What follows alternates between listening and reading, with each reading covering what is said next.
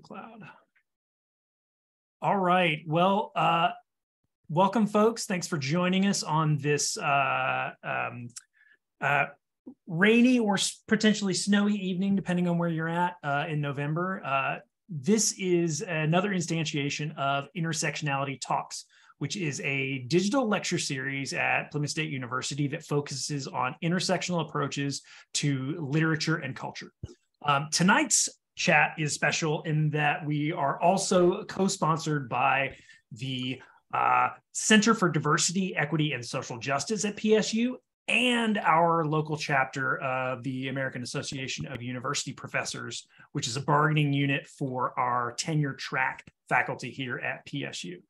Uh, if you, uh, and I'll, uh, well, I'll throw the link in the chat just in, in case anybody wants to look at the, the, the full event description.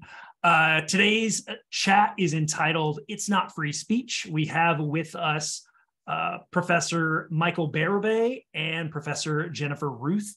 Um, Michael is the Edwin Earl Sparks Professor of Literature at Pennsylvania State University, and Jennifer is Associate Dean in the College of the Arts and Professor in the School of Film at Portland State University. So at some point tonight, we will get confused about PSU, I'm sure. Um, very confused about PSU. Um, because we all go by PSU, right? Yeah, yeah, yeah. So, so we'll have. I'm sure it'll happen at least once. Um, they're here tonight to talk to us about their uh, recent 2022 book from Johns Hopkins University Press, entitled "It's Not Free Speech: Race, Democracy, and the Future of Academic Freedom." Love that cover. Um, and it, there, there, are a lot of really interesting things for us to talk about in relationship to this book, especially in a, I think, a New Hampshire context. Context. We've had our own uh, divisive laws passed at the state legislature level for K through 12. They haven't hit higher ed yet, although there's been attempts to expand them that way. Um, and there's just like a real chilling effect from those that are creating lots, a lot of ripple effects that we're trying to talk through and think through in, in shared governance ways and ways that y'all have uh, written about. Um, so uh, just a, a, note to our, uh, our, our guests and everybody uh, listening. The way we normally do these intersectionality talks is just sort of like a loose interview format with uh, like a chat between me and, and our guests. Um, since we've got a small group tonight, I would encourage you, like if you've got a question in the first half, feel free to use the chat. Feel free to raise your hand. Um, but the goal is to spend probably it's 606, probably about the next 30 minutes in conversation, and then open up to Q and A. Um, so without further ado, um, and we are recording this, and this is going to be made available on. Uh, oh, I should note, um, uh, it's special that tonight's uh, uh talk is co-hosted by the Diversity Center and uh, AAUP because they normally don't uh, are, aren't involved in this program. Always, our, our our intersectionality talks are sponsored by our English program, by the um, academic unit in humanities, cultures, and communications, and by the PSU Open Learning and Teaching Collaborative, which hosts our recording archive and does all our of our um, publicity for us. So that's where the recording will be in the future, and that's where you can see future talks. All right, so to dig in, we, the title, It's Not Free Speech. Let's start with the latter part. What is free speech? Because y'all spend a lot of time sort of digging into competing definitions, talking about how far it extends. So um, bring bring us up to speed. Michael, I like your ship metaphor. I think hmm. you should offer it up straight out. Okay, so imagine uh, academic freedom being the boat we're all sailing on, and free speech being the water that it, that it buoys it up. Uh, one can't ex- we can't exist without it, but it's not the same thing free speech, I mean, to go to um, just classical First uh, Amendment jurisprudence, pretty much anything goes as long as it does not, it, it involves imminent incitement of violence, uh, slander, defamation. Uh, what else? I think, I mean, we just had an incident here at Penn State involving the founder of the Proud Boys, Gavin McInnes, which actually did generate uh, national headlines for generating violence. And every single attorney, you know, that my administration consulted said, well, it's not imminent. And I really do think we should broaden our sense of imminent to include mm-hmm. very likely to occur in the middle of central Pennsylvania if the head of a, an insurrectionary body shows up mm-hmm. to, to, troll us.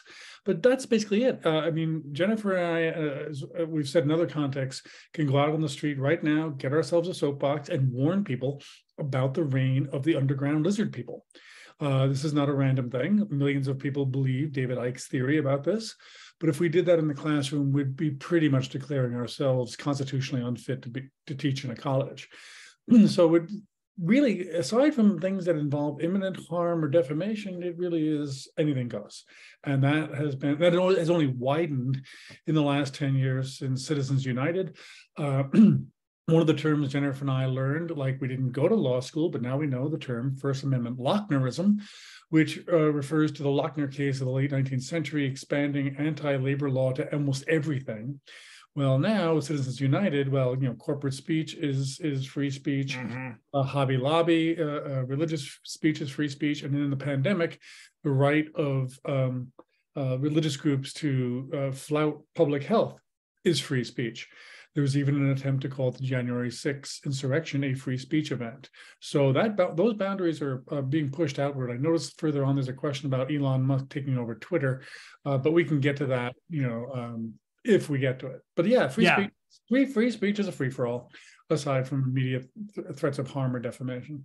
And yeah, if I can be, add, I, I just say it'll be no tragedy if we don't get to Elon Musk. Go ahead. Um, so the the only thing that I would add is from this, there's two vantage points in which the importance of distinguishing free speech from academic freedom can be understood. One is the fact that uh, free speech is a free for all and academic freedom is not, and that that distinction is not very well understood, and that the two are conflated. So one of the things that is interesting about what your example, Michael, about the Proud Boys person is that all these you went to the free speech thing and the way that the lawyers are defending Gavin McInnes's right to speech through incite that that it doesn't breach the incitement to violence thing. And you're saying well doesn't it? That that needs to be rethought. But also what's disturbing to us is the degree so there's there's a question about whether we need to rethink the way that free the first amendment stuff is understood given social media given mm-hmm. you know all these things. That's one question. That's actually not a question that's that central to our book but that's one place that everyone is going right now in our culture for good reasons but the key mm-hmm. the interesting thing too is i bet you those lawyers that were defending and saying oh this isn't exactly an incitement to violence were actually probably invoking his academic freedom because what you see in filing they, they, may or may not have been but you see it everywhere you see free speech and academic freedom yoked together mm-hmm. when one really means one or the other the filing in the florida uh, lawsuit to try to defend DeSantis's stop woke stuff. There's been two challenges to that. You just, free speech and academic freedom. That's the phrase, just threw out as if there's no distinction between them. And students have the idea that students have academic freedom. So if the student group invites Gavin McInnes, then it's their academic. You know, so these that's the other way in which, on the one hand, free speech is the default, but uh, it, but academic freedom keeps getting thrown in there. But people don't understand that actually academic freedom is where you can draw distinctions, and it doesn't have to simply be incitement to violence. And so, while many people will react to our book saying that we're looking to censor, we're part of the more censorious kind of crowd around free speech. We're not actually going after free speech, we're asking for people to uphold academic freedom and to say that academic freedom is about disciplinary competence and educational value. And right. it's not just about, yeah, you can say it. It's about is does the university community, is this the kind of uh, expansion of knowledge, expansion of you know discourse that is of any value to the educational mm-hmm. community. One quick thing. Um, Jennifer has clearly been reading the press releases from my president's office because even though uh, Gavin McInnes' academic freedom wasn't invoked prior to the event, it certainly was afterwards. Right. Because exactly as Jennifer said, uh, if we uphold free academic freedom, we must uphold this free speech. Well, Jennifer, I haven't heard back from our president, Neeli Bendapudi, but when I saw that in the press release, I promptly sent her a copy of this book. inscribed very politely saying whatever else you're hearing about that the fallout from that debacle just for the for the record and for the future that event had nothing to do with academic freedom nothing exactly. at all. Exactly. Yeah. So let's so and, and that was my my second question like you know it's not free speech it presumably being academic freedom what is yes. academic freedom and like so let me reframe that how far does academic freedom extend like because uh as uh you know uh, traditionally this is something that's been like uh, publicly well defined and talked about by AAUP's history and something that is applies as a working condition uh can, can you can you talk a little bit about that because we uh like uh uh, McInnes, uh, uh, not employed by the university, right? Right. like, I mean, there's some people who are arguably proud boys who are employed by universities, but he's not one of them. Um, mm-hmm. The one of the uh, Michael, I'll let you close on this one, and I'll start it. But just to say that one thing that is not well understood, and for good reason, it's murky, is the fact that to the degree that academic freedom, so I'm, I'm kind of coming at this from a little bit of an angle because you're absolutely right that it is AUP that has defined it. And to the degree to which it, there's any kind of general understanding or, or wider uh, understand public understanding of it, it would be through the language of the AAUP because it's in the law and legal discourse. It's nowhere in the Constitution. It's nowhere. It's a special consideration according to one judge in one case of the First Amendment. So it's mm-hmm. underneath First Amendment, um, but it's not been well defined in the courts, and the courts can go in ways that the AAUP wouldn't agree with on it. And so it's a very it's very chaotic, which is a, of course very disturbing in our particular moment in history. Um, but yeah, at the AAUP in 1915, you know, they said things like just because the the person who pays the faculty member doesn't get to sit, tell the faculty member what they're saying right? The mm-hmm. academic freedom is the freedom for you to work within your expertise that your president may not have expertise, the donor may not have that expertise. You have the freedom to say what you want. And a democracy requires academic freedom from its faculty and from its universities of, of higher learning because the you know the Ron DeSantis's of the world, the Lauren Boeberts of the world, they're not maybe the the very you know cutting edge of knowledge and understanding of very of any range of things. So they shouldn't be determining what our curriculum is. Um, and so, but it doesn't have any legal standing. It and it certainly it has legal. It has it comes up in various cases. Um, but it doesn't have any legal standing that through the AUP. It's been a kind of, and this this I'm using this term very specific, very pointedly. It's been a kind of gentleman's agreement, mm. academic freedom. The idea that you can't be a professor who an of astronomy who says that the moon is made of cheese, right? That we understand that there's certain things that are just in, that's incompetence, that's unfitness, that's not free speech. But the way that it's been governed, exercised, understood, uh, yeah, is is it been a gentleman's agreement? And it's been through the way in which we do promote we do national recruitment for jobs promotion and tenure. And when you have a sizable proportion of faculty who don't go through those processes of promotion and tenure et cetera it becomes it, it, it gets that much murkier and it becomes and that's why the conflation of academic freedom and free speech is so easy for even faculty to make. Mm-hmm. yeah. What i'm going to add to that is uh, to say that jennifer added it was her idea to draw on Robert Post's distinction between democratic legitimation and democratic competence. So, mm-hmm. democratic legitimation is free speech. You need to be able to criticize the government without prior restraint. That is part of what makes uh, public discourse legitimate. Mm-hmm. Um, but democratic competence is something else, and it relies on, on an idea of faculty expertise. Uh, that is not a stable or a, um, a static thing. New fields emerge, say disability studies, or in the work of Joan Scott, uh, going back to the 80s, not only you know putting a putting gender on the agenda for history, but also saying that sometimes uh, a the, the, best way to observe disciplinary norms is to challenge them. So, like I say, it's not just uh, fixed for all time what an form of expertise is, but there is such a thing. Mm-hmm. And recognizing that is crucial to recognizing that distinction between academic freedom and free speech. One other point is that academic freedom is too often construed as an individual right. It's tricky. It is mm-hmm. really a corporate right of a class of people who adjudicate each other. and vet each other. And I think in a lot of ways we have lost that sense. um, I actually have been a little bit distracted in the last couple of weeks. We had a, a, health event here, so I haven't written down the date of the event that I'm calling the um, Last Refuge of Scholars Academic Freedom Conference at Stanford. Mm-hmm. But uh, pretty much everyone we mentioned in the book is going to be speaking at it because they have been canceled and they need their academic freedom. And this is really, if we were re- if we were writing an appendix to the book now, that would be that would be the first paragraph right there.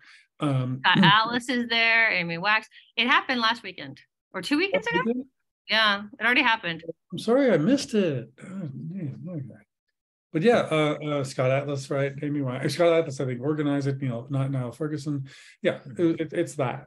Um, and so the idea is that any uh, attempt to actually, one of the I, I saw one of the questions, um, someone like the idea that we pointed out the white supremacist scholarship is bad scholarship. Not that it is harmful. That's not the point. Point is this bullshit and it needs to be vetted on intellectual grounds rather than on emotive or whatever you cancel culture blah blah blah grounds. That's not the point. The point is that the sell by date on some of these ridiculous ideas has long since expired. And that is what uh, a rigorous conception of academic freedom would uphold. Yeah, I, I, I myself am a scholar of um, uh, English Renaissance literature, and I love pointing out political ideas from the 1580s and being like, this is just like what such and such senator said two weeks ago. Like, uh, according to experts, here are the experts from the 1580s. Right, right. Uh, that's, that's always a delight. Um, lots of places to go here, but I want to zero in on the contingent faculty portion. Um, because I think the way y'all talk about academic freedom, the way AAUP talks about academic freedom, like all faculty are included in this. This is not just for people who are who are fully vested in tenure. Mm. Um, however, as you make clear in the book, and as I think we're, we're all aware, those of us who are aware of, of working conditions, um, the protections of tenure are not equally distributed right? That they are um that that that uh sorry sorry excuse me. Um i said the protections of tenure. I mean the protections of academic freedom are not equally distributed. That they're, they're they're brought in with tenure in a way that creates uh, inequity in the system. Yeah, I mean, that was a, ironically, there is a way in which, not ironically, I guess it's just, it, it makes me a little bit nervous to put this so baldly, but the, the book is saying we have a problem on two fronts with the conflation of academic freedom and free speech. The problem on one front is that we're in a culture with social media, with the rise of white nationalism and militia movements, with the weaponization of free speech. And it's being co opted as a way to sort of bring out these expired ideas, these discredited ideas, and try to, to gain new legitimation for them.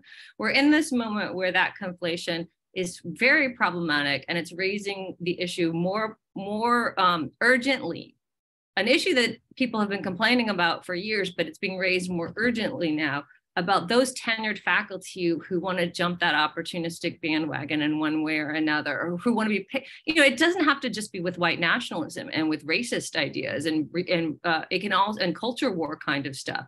It can also be those people who are being paid by uh, corporations to talk about climate change in ways that are mm-hmm. misleading, mm-hmm. and yet they're doing it with the imprimatur of their university and their degree. So tenured faculty who take advantage of the system and the capital system, how, you know, whatever the political system, whatever aspect that they can, the think tanks that give them money um, to to ride something that actually the majority, the vast majority, right? Because we understand, as Michael said earlier, it's really important to point out that disciplinary boundaries are not static and new mm-hmm. work some of the most valuable new work is the ones that are challenging those boundaries and so figuring out where that work is actually doing that kind of thing that's helping us progress with knowledge or become whatever your values are become a more informed society a more mm-hmm. just society um, versus when it's opportunism that's trying to create legitimation for ideas that don't have good evidence behind them or a, or enough enough of their peers thinking that this is a legitimate path.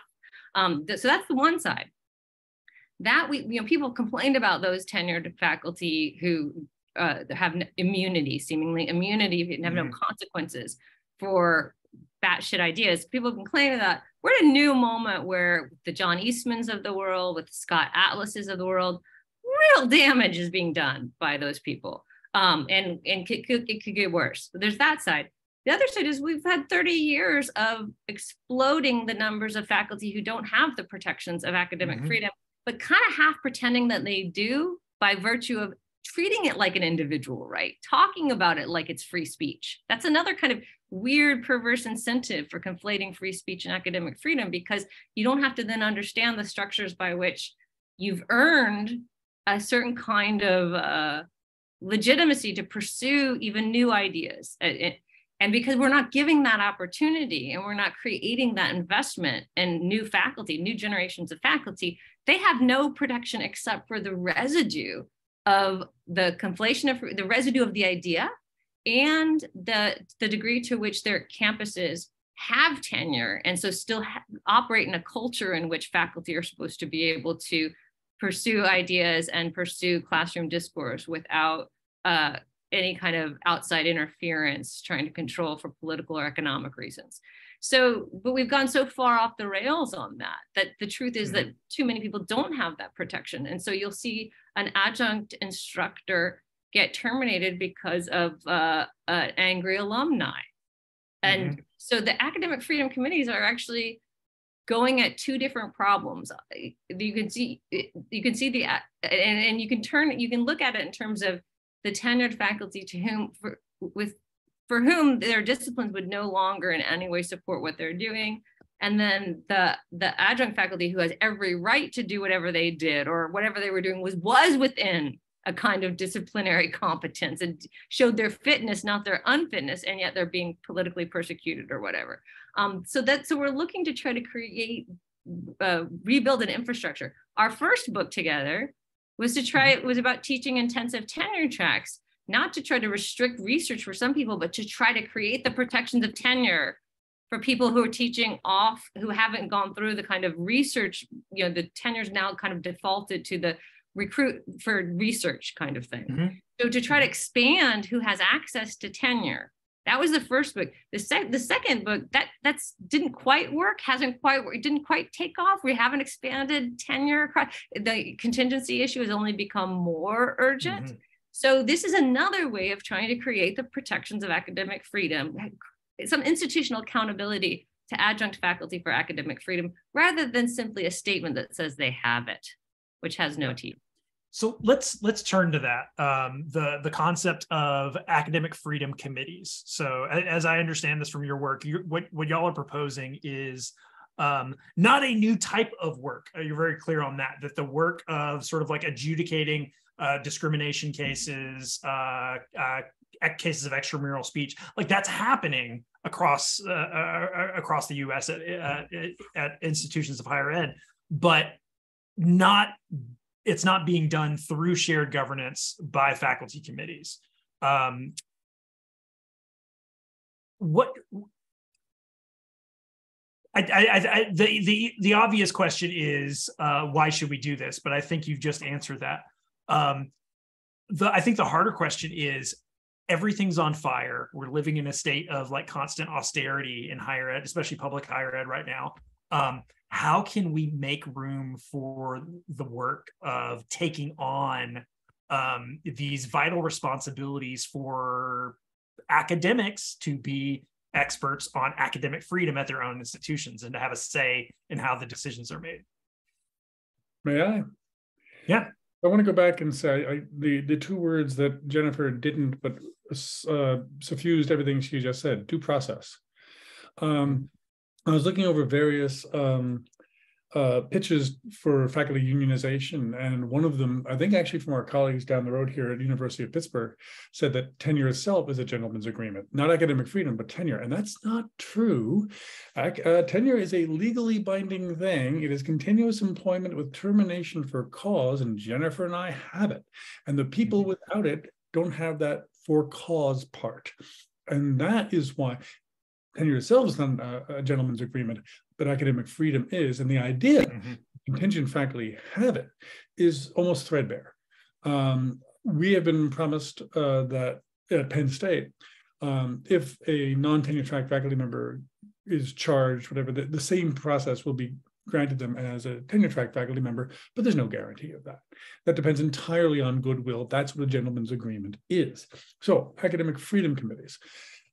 Uh, you leap immediately to the increased workload. I, I smile ruefully because for five years here, when I was involved in the leadership of the faculty senate, one of the things we tried to do, because we could not get a conversion to tenure plan at Penn State the way Jennifer and I were proposing, uh, instead, we thought, all right, well, what can we get from the administration through the faculty senate? What we got was a, um, a promotion and review plan run by the non-tenure track faculty themselves. So they were not entirely beholden to individual administrators, department heads, division heads, whatever.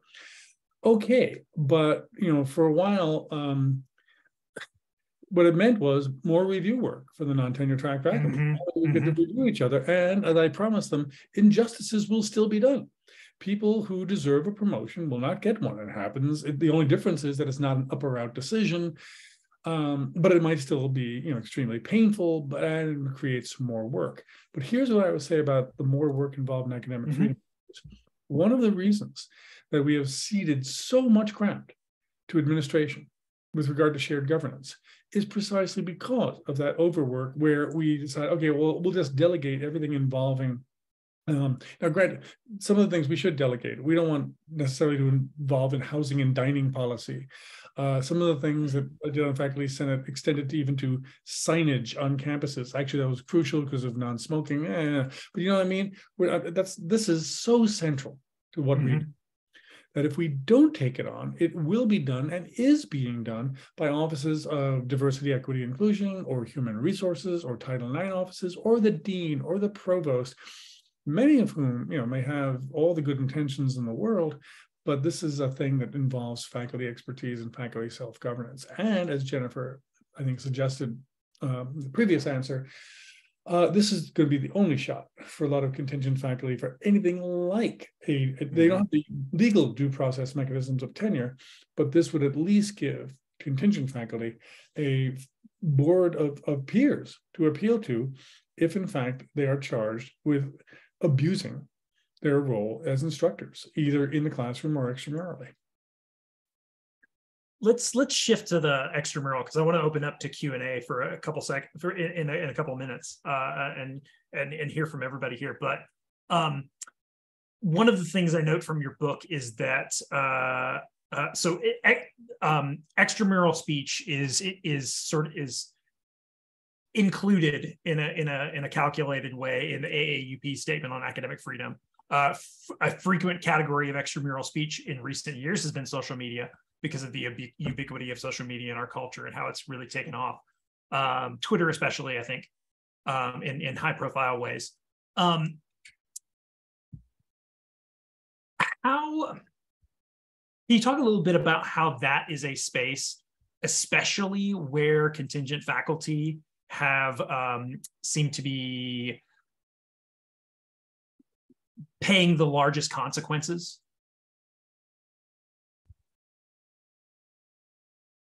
Uh, we offer a couple examples in the book. I mean, people with a, a, Facebook post, one that was satirical and not understood that way. Where, in fact, this is a, a, a adjunct professor at the University of Wisconsin Milwaukee. The people who came after her were not donors and alumni; they were students, and you know, the the pressure um, to fire this this woman for a post that seemed to be supportive of sexual harassment in the armed forces, but was in fact born of bitter experience with mm-hmm. sexual harassment in the armed forces. And it was a comment on a uh, harassment case that literally turned lethal.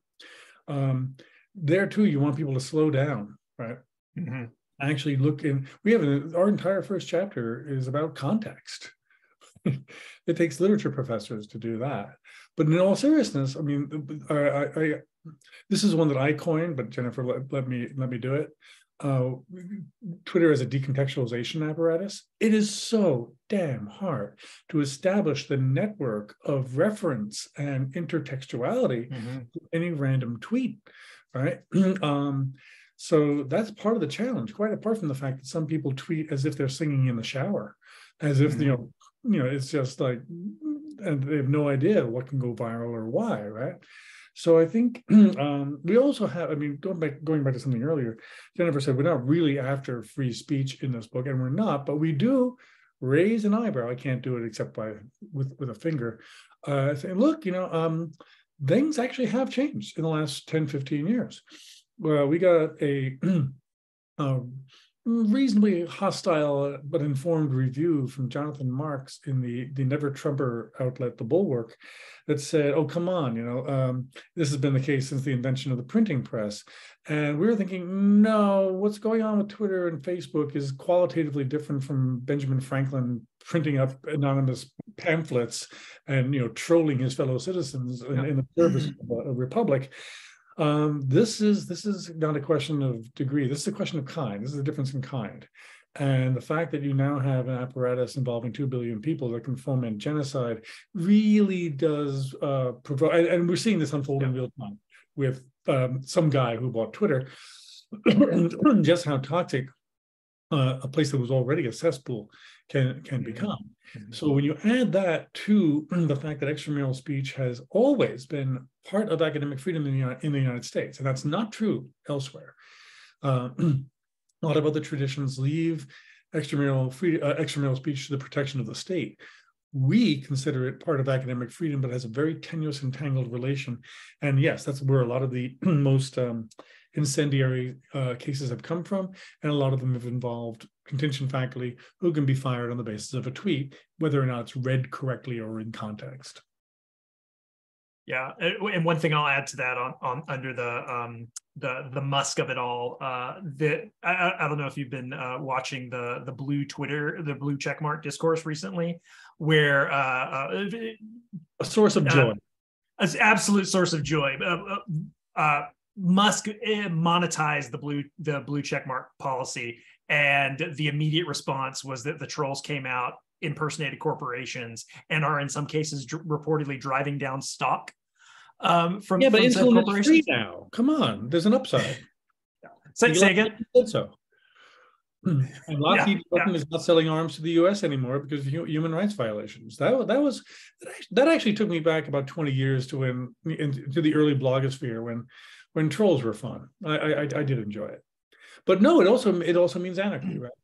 Yeah, yeah, yeah. And I'm sure, like I, I just to pull out your crystal ball, uh, uh, but each of you, like, does is Musk's takeover of Twitter just sort of like the new, the next step in sort of like the evolving social media scape, or given how central Twitter has been to, I think, building academic communities in recent years, um, are are we seeing? I, are, might we see like an evolution as people leave the platform as it becomes unstable, et cetera? An evolution of what? Uh, the way the way we use social media, the way it interacts with um, uh, uh, the academy. I want to just mention one. I, I, don't know that I have a good answer for that, or I certainly don't have a crystal ball. And I'm, I'm curious, Michael, mm-hmm. hold on to whatever it is you're thinking right now, because I want to hear it. But uh, there's one point that I do want to make mm-hmm. that has to do with your point about Twitter having become important to the building of academic careers and academic cultural capital and stuff, and getting mm-hmm. your work out. And then, um, I do think that social media has raised a question that that we don't deal with directly in the book in part because it it does raise questions of harm which we did not go near we went we went about the fitness we were interested in you know people are tweeting stuff that's unfit or writing stuff that's unfit or writing stuff or if they're trying to put forward for their promotion and tenure committees stuff that um, peer review can't support that's not free you know all that that kind of stuff and just reminding faculty that we do have some mechanisms both to create due process for contingent faculty and to hold tenured faculty accountable. That was the idea.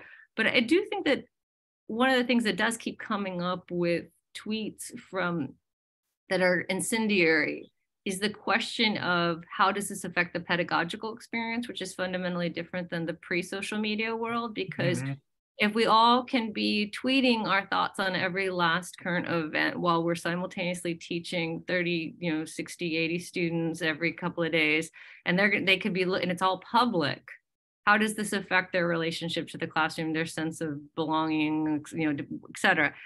I do think that that's become a real question. I mean, I see, and I, I am on the left, so it's I have a much higher threshold just naturally. I mean, I'm not saying like intellectually, but naturally to trying to look at and figure out what's satirical about various things, or what, or the fact that a history of oppression makes certain kinds of a history of certain groups being oppressed means that certain tweets are going to read differently than um, a white. Mm-hmm. Um, so I'm, I'm sensitive to all of that, but I'm also coming to feel like I, I, see some tweets by some of the people who, the kind of people who were at that Rogues Gallery at Stanford conference, where I think I'm legitimately not sure that I would be graded fairly in that class as a woman. I legitimately, if I were, and I do think, you know, it, it, it challenges English professors who are really comfortable with the idea that passionate, you know, hyperbole, all of these things are part of what we do and part of social action. Mm-hmm. And and we have, but it, I do think that that's going to need to be part of the discourse. And I do think that this moment where we're saying, oh, look at the way in which um,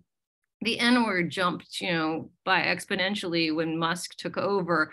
I think that's helping us begin to have these conversations mm. about, and I think the fact that we could, people could be moving to a different social platform that does more community moderation and is has different rules for engagement. These are all useful things that will then filter back to the academy in some way in terms of what are our mm-hmm. community uh, rules of engagement here? How do we talk to mm-hmm. one another? And so, even though civility is not Michael and my go to in any way, because we're very sensitive to the way in which social movements have required a certain kind of passion and mm-hmm. uh, extreme uh, formulations.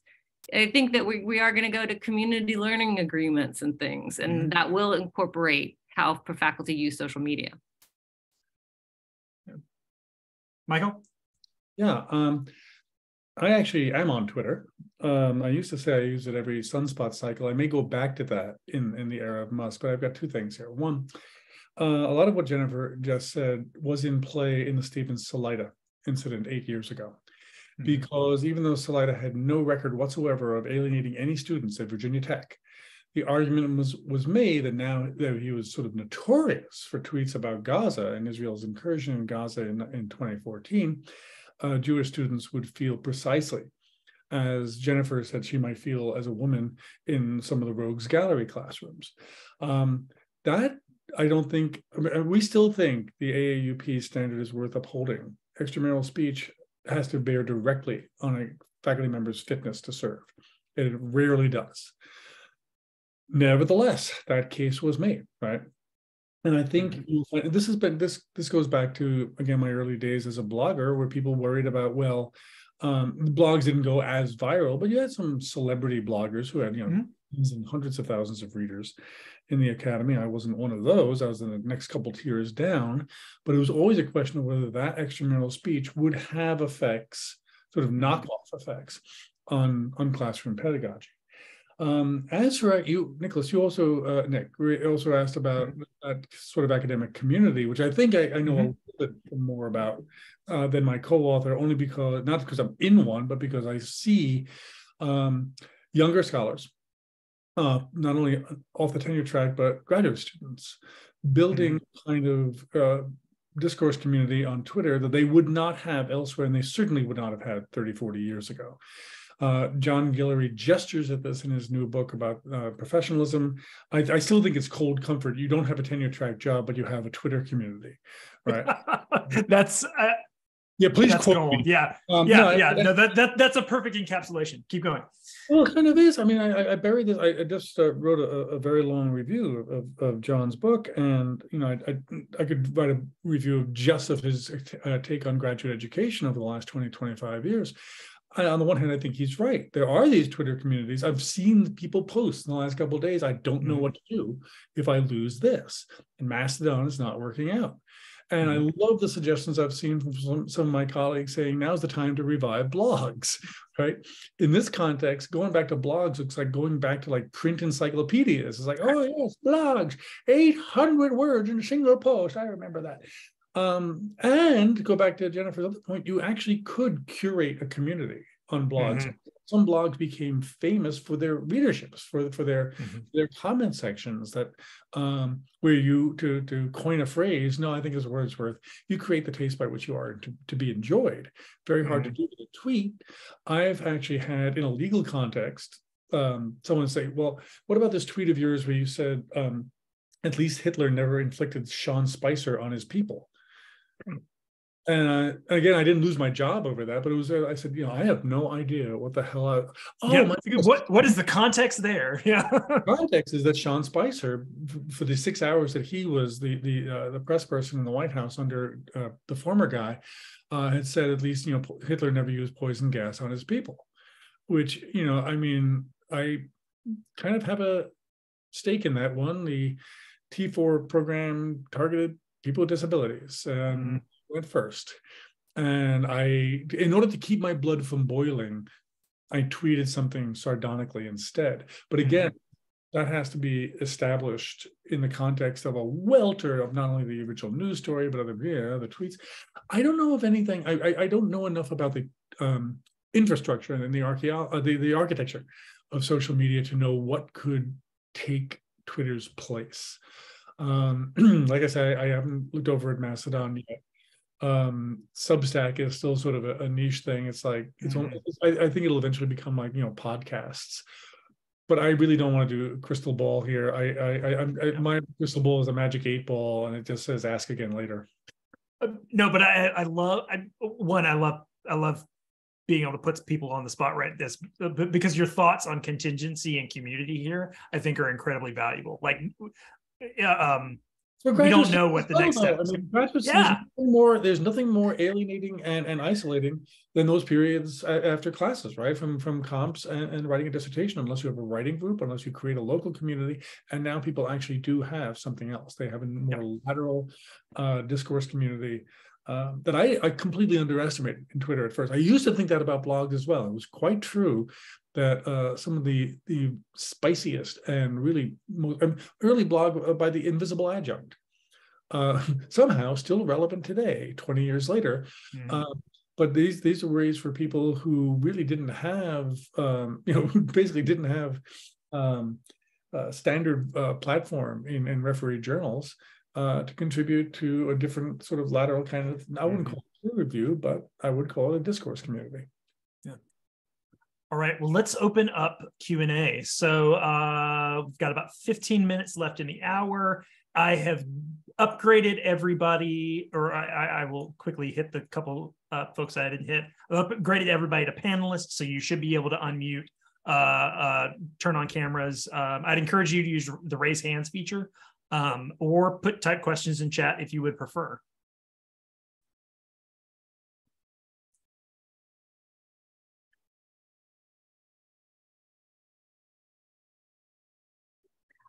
Really happy that we were sponsored by, oh, good, there's a question, but I was really happy we were sponsored by both D- Diversity Office and AUP. I love when those things can be brought together. So if there, I was just, that was basically a call for anyone who's coming from either of those places who might be here. I'd love to hear from you, but. Yeah. I, I, Alberto, I'd love to hear your thoughts on that because Alberto is uh, Alberto is our director of the Diversity Center and he's new to campus. But Elliot had a hand first, so Elliot, go. Well, I'd rather go to Alberto because that might be more consistent. But I did want to ask um, a little more about how we as academics have really hurt ourselves with the corporate collusions and um, there was reference to that you know the atlas stuff in the pandemic certainly big pharma certainly deepwater horizon and of course way back to tobacco right and um, it, it seems like there was a lot of damage done then and it that still exists and these new waves of kind of assaults on this have, have just added to that. But i wonder if you could comment on this ongoing um, and how how we we can't police it but how we call that out in a way that is consistent with our values Jennifer's got a great riff on this. What is it? Uh, you you got the tobacco guy. the blog, the academia. Well, no, the climate change. The, the, the, yeah, name, but he's been he's been in the pay he's been in the pocket for quite some time. Right. Um, and I and I just was just racking my brains. I just saw something in New York Times about another academic who is being exploited for some kind to sort of spread a certain narrative. And I don't know if it was around the small nuclear reactors or what, what it was, but yeah, I don't I don't have a, a I don't remember what I, I said, but I that's I think what right now, Elliot, all we seem to have are these petitions and these different groups that decide that they're going to focus on particular individuals or particular industries to try to get the exploitation the use of a sort of academic talking heads that don't actually have the backing of their disciplinary communities out of out of those discourses. Um, and i think that the other way though the other way this conversation could get furthered is through the campaigns that we see for divestment from various things that universities shouldn't be in the business of in capitalizing on stuff that the majority of the academic community that has expertise in that field considers to be profoundly damaging to certain communities or to the planet or to whatever. Um, but I think that's a great question. And I think it doesn't, it could come up and it could be something that raises do you have academic freedom to use your position do you have academic freedom to use your position to make money through a think tank or from a corporation for public speaking fees to peddle information that is not widely validated by your um, that I, I could see an academic freedom i could see someone being put forward to an academic freedom community with that being a question. But yeah i don't i don't have any good i think more needs to be done for sure. Michael do you want to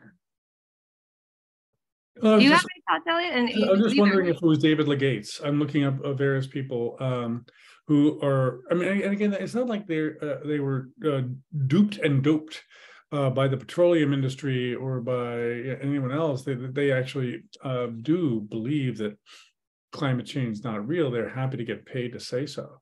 Um, but I think that's that's one um, that's one form of damage. Uh, we, we just scratched the surface with that in um, chapter six by discussing Scott Atlas.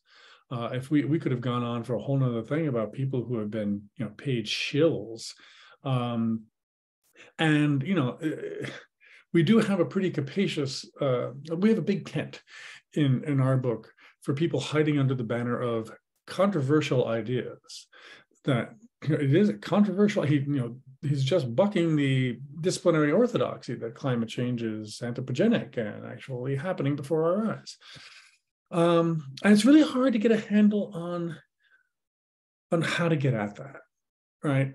Because um, merely saying you are refuted by 97% of your peers might just also catch you know some dolphins with the bad fish right um, and we tried in that chapter to say, well, does this, when a person comes up for, for, for things that are, you know, absolutely toxic and, and this you know, literally damaging to the environment, um, what is the standard that should apply? We we came up with various things having to do with democracy. We were writing in the shadow of an interest insurrection, but it's not clear that that captures everything, and I'm not sure what does. Alberto, thoughts from the the the the Plymouth State PSU Diversity Center. Yeah, well, first of all, I just wanted to thank you both and thank you, Nick, for organizing this program. And I mean, one of the th- one of the things that was coming up for me as you both were sharing was sort of um, how thinking about contingent faculty, adjunct faculty, and how um, disproportionately those are people of color, often women, disabled folks, and so um, I was just thinking about that and sort of how, um, you know, things that could be, you know, not renewing one's contract for financial reasons. I know th- those things have occurred on our campus and how those, you know, can disproportionately impact people of color, how that also lends to this idea of what you were talking about. And not this isn't the case for all people of color obviously people of color particularly or women of color have scholarship in all arenas but a, a lot of um, the scholarship of people of color does have to do with controversial topics. Um, and so I, I, was just wondering if you might speak to that at all. Uh, one quick thing I can report uh, from the great state of Florida, uh, which in a lot of ways is taking the lead. I'm actually involved in, in a lawsuit um, involving, I think, maybe the 18th most evil law that passed in the last four years. And so it hasn't even hit the radar of, of, of our colleagues. But um, there is already a law on the books in Florida that not only um, um, created a survey of intellectual diversity on campus among faculty, students, and staff, but also uh, prevents student faculty from shielding shielding students from ideas. No one knows what the hell this means. And my initial reaction to it was, "Hi, Florida legislature, have you met the people trying to ban critical race theory? Because they're you." And I just it, it, it's a long story as to how they managed to do the same thing. Uh, they were convinced partly by way of a really pernicious reading of the Chicago statement, where the university is not supposed to shield people from ideas. Um, I'm pretty sure Chicago did not think that committee did not think, okay, now we're open to the lizard people. We don't want to be shielding people or from the benefits of pedophilia. Um, I don't want to be, you know, shielding my students from a lecture on that. Well, um, the first people, uh, and this was there was a chronicle story on this a, a couple months ago. The first people who uh, responded to the new atmosphere in Florida were faculty of color, who basically said, "Yeah, the message is pretty clear. We should go elsewhere. Um, no one is going to have our backs. Not our own administrations. Certainly not our our legislators in, in Tallahassee."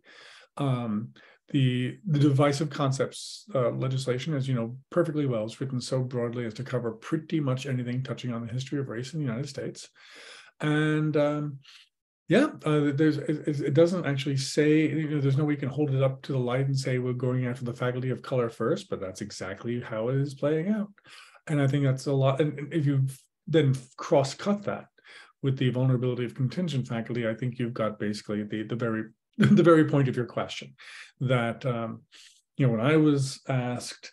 Um, you know, where are the baleful effects of this legislation in Florida? Do we see an exodus yet in, in the one year that this law has been on the books? Um, I had to say, well, of course, still so, too soon to tell, but you're asking the wrong person, right? You're asking a, a tenured white guy in Pennsylvania. Yeah, you should be talking to the faculty who either are completely changing their courses or folding the tent completely or trying to leave. And we will see plenty more of that. Um, and the question is how many places they will be to go right? Because Florida will not. Florida is just in so many ways the sort of uh, leading edge. Uh, they're they're jockeying with Wisconsin and, and North Carolina and Idaho and a bunch of other places for who can create the most repressive intellectual environment above the K twelve level. Yeah, and if I could just add, when we wrote the book, the we were actually almost done with it when the anti when the divisive concepts legislation really became something that everyone was aware of and the anti-CRT stuff really exploded. We actually had started a chapter to talking about critical race theory, what, what we sort of owe to them and thinking about this right as it began to be demonized. Um, and I do think so, so right after we finished the book, I started working hard with a bunch of people on passing academic freedom Senate resolutions to protect that against the, these state legislations and to create solidarity among faculty for faculty who teach these the very concepts that are being targeted by this what i would call fascist legislation. It's, a, it's at least authoritarian legislation in the sense that it's saying these partisan legislators can determine our curriculum. Um, whereas we have been for years hiring people to teach these very things and bring in and you know supposedly investing in them if they're tenure line or not investing them if they're contingent but either way, we've, we've been asking for these things to be taught. And now what are we going to do to defend them against this kind of legislation?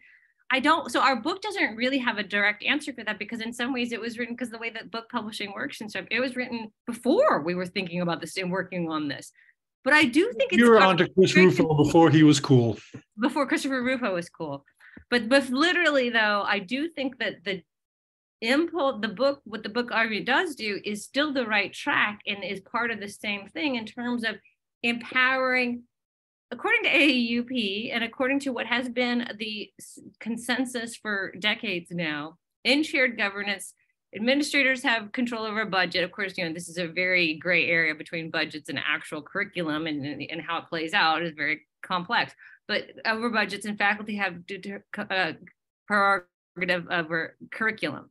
So this is something that directly impacts all of our academic freedom and it's more, but the people who are on the firing line right now happen to be people who are teaching in women ethnic studies gender the black studies oftentimes disproportionately adjunct faculty faculty of color who by their very nature have been by their very skin color has been politicized by this legislation and created a sense of, of a, a certain kind of culture that can be capitalized on by a certain type of student. So it it is a shared government. It's uh, to me, it's the academic freedom committee is not enough to deal with that, but it is a faculty senate shared governance in a democratic society. Universities determine curriculum and have to we have to come up with ways to protect and and I think there are faculty when we passed when we got these Senate resolutions passed across the country. It was I would sit in sometimes on the through Zoom because so much was happening through Zoom, of course, then, and it was kind of great because I would sit in on the faculty senators that I was talking to would say, "Hey, we're actually bringing the resolutions about we, you know, condemn this legislation. We call on our provost presidents to protect our instructors who do work in these areas, et cetera." We're actually voting on that in faculty senate you know next week. Do you want the zoom invite? And i would go. And what was really cool is that you would see uh, people put it out in terms of the anti-crt and the divisive concepts. And then you'd see the biologists step up and say um, you know they're going to go after and this was before Dobbs, they're going to go after my looking at reproductive care. And then you'd see the people talking about the chemist person talking about pollution and climate change. And so it's just starting to realize you, we all have a dog in this fight and we all need to protect one another. and one, that's through shared governance. Uh, one little footnote to that. Yes, of course, the people teaching in controversial areas are on the firing line, as Jennifer says. But who we have lived so long now as to see classics and medieval studies be on that line as well. Uh, the faculty who are dealing with decolonizing medieval studies um, Sarah Bond at Iowa, who was had the temerity to point out that the Greeks painted their statues and that white nationalists, for some reason, have a problem with this. Who knew they cared about art at all? But there you go. And so they came. The, the trolls came after Sarah Bond, and the University of Iowa, in response, came up with a very good 14-page booklet about how to protect your faculty member from attacks by social media trolls. Point being, even before we get to biology and chemistry, it can come from anywhere. It can come from anywhere and it has, and it will. So we're we're running short on time. Uh, I, I want to get to I want to give Paige Paradise the last question because Paige is the only person to use the Q and A function. Oh, um, and and oh oh uh, did you type it? Okay, yeah. Can, can, can we can we verbalize it for the recording? Is that okay? Yeah. yeah. Sure. I mean, uh, sure. Paige, go ahead. Yeah, go um, ahead, Paige.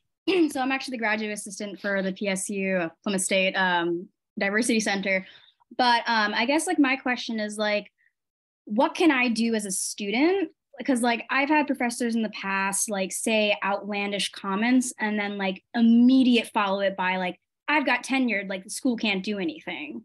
To which like kind of like feels like removes like my power in the situation or makes me feel lesser. And it's like okay can i even do anything? like at that point. So like what can students do who like I guess feel like in lesser power about like kind of like situations like that or like well, it easy. Uh, it, it's not it's not it's not um it's not an easy lift. Um, but if we're talking about outrageous things about how well, let's take something that I you know, care, right in my bailiwick. Um, you know, people with significant intellectual disabilities have nothing to contribute and should be warehoused, institutionalized, or killed. I got tenure. Nothing. No one can do anything about that. And that's that's actually not true. Tenure is not carte, blanche. Um, and Jennifer and I, very late in the writing process, uh, found the example of a professor. It was these people in the business school or in economics mouthing off about how the Jews control Hollywood and about how diversity is strangling. It, it's just, oh, no, it was race realism. And with no expertise whatsoever in race or for that matter in realism. And they, there were student complaints and you know a lot of times there are student complaints and, and nothing is done. That's why i say it's not an easy lift. One thing that needs to be done if this is in fact a systemic and and pervasive problem is um, numbers. Numbers of students coming forward and saying you know what? This wasn't a one-off. This guy this one didn't just go off about the jews this one time. This is an obsession that actually derails the course that actually does violate the AUP principle about teaching that you know material irrelevant to the class that controversial material that has no relation to the class should not be persistently intruded into a discussion so yeah i, I hate to say as i didn't uh, typed response, hey, this department has there's deans. I hate to be pe- appealing to authority. I hate to be calling in the police, but they're not the police. There are there are peers, and as a matter of fact, um, you don't get to do whatever you want with tenure. But some tenured faculty think otherwise. There are cases. I'll take one more where I don't have. I, I can go ahead and misgender my students because I have academic freedom. Really? No, you're in violation of a Penn State policy, and we got to talk about this. So again, it's it's not because again what tenure legally means that due process that's there means there has, people have to be fired for cause and that's a pretty high bar but it it does it does happen or if they're not fired at least um,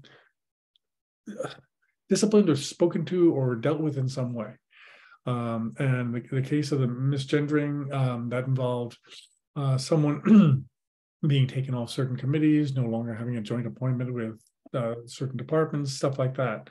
Uh, there are things short of uh, stripping of tenure that are still available.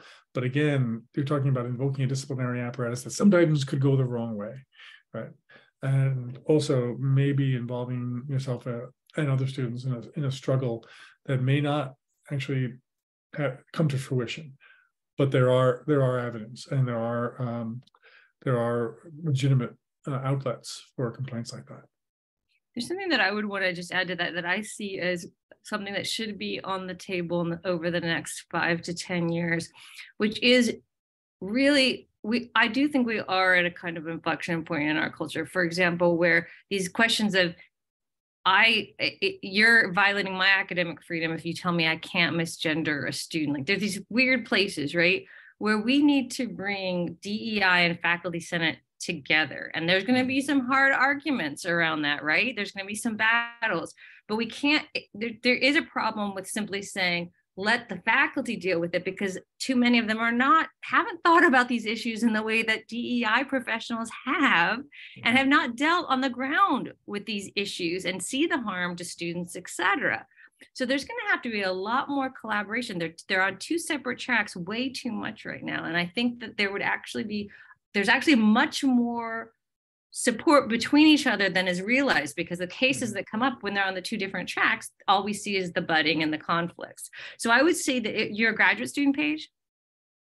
So you'll be a faculty and as a graduate student, you can be part of the conversation that brings, for example, a faculty senate saying, uh, working with DEI professionals to say it is our policy that misgendering students is a form of disrespect that can't be seen as fitness within best practice, best pedagogical practices. I think universities, and what's kind of both disheartening and heartening about it is that it is going to have to happen on a number of different campuses, and then that will sort of spread and get modeled on others.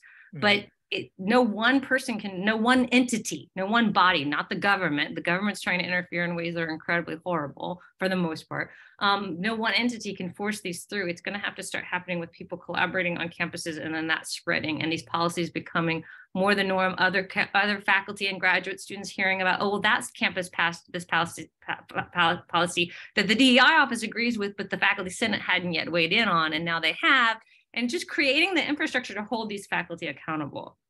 Um, but yeah, the DEI and faculty senate, some of the stuff that we've learned through that the professionals in DEI have learned, some of the people who do Black studies, women's studies, et cetera, but who that all has to come into faculty senate and, and help inform the decisions there in my mind. Well, we're over time. I think on that uh, excellent summation, we should thank Jennifer and Michael for joining us tonight. I really think you all have kicked off conversations at the New Hampshire PSU that are are really important um, uh, that, that have been happening happening in scattered ways. I think with a lot of us on this call, but um, uh, it's it's it's the direction we need to head into is doing this work. So I really appreciate you joining us tonight for this. Thank you, everyone, for showing up, and thank you for organizing it, Nick. Yeah. Hmm. Thank you from another snowy part of the country that just got hit yesterday. All right. Thanks, Enjoy everyone. y'all's November, and we'll be in touch. Same. Be well. Bye.